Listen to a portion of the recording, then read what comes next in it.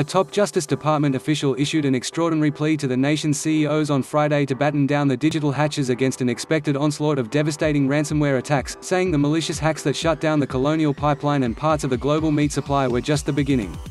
The message needs to be to the viewers here, to the CEOs around the country, that you've got to be on notice of the exponential increase of these attacks, Deputy Attorney General Lisa Monaco told CNBC Eamon Javers in her first televised appearance since taking over as No. 2 at the Justice Department in April.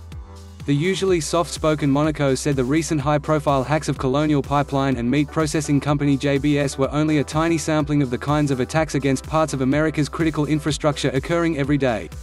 If you are not taking steps, today, right now, to understand how you can make your company more resilient, what is your plan? Monaco said in a nine-minute interview addressed to the nation's business leaders. If your head of security came to you today and said, we've been hit boss, what is your plan? Do you know, and does your head of security know the name and number of the FBI leader in your area who deals with ransomware attacks? Monaco asked. These are steps that you've got to be taking, right now, today, to make yourselves more resilient. Monaco, who has spent the past two months ramping up DOJ's cybersecurity efforts, on Thursday announced a new nationwide ransomware and digital extortion task force that will be run out of Main Justice but connected to every prosecutorial office in the country.